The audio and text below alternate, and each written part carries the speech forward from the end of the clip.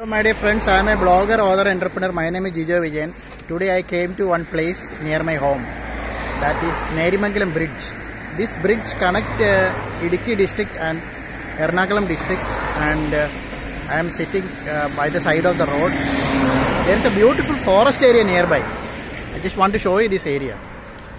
Neriamangalam town has got a beautiful forest area and uh, this is a protected forest maintained by the Kerala Forest Department. Kerala is full of greenery. I want to show you this place. While you are coming to Munnar from Cochin, you can get down here, have snacks, just relax and enjoy the beauty of this forest. There is lot of traffic on the roads, but don't worry about that. You can just uh, hang out. There are some few resorts, hotels also here. You can stay here if you want for one day this place uh, many people don't know about the place.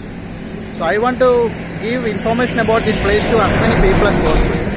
So that when you travel to kerala you can get down at Neriamangalam and uh, enjoy the beauty of this place.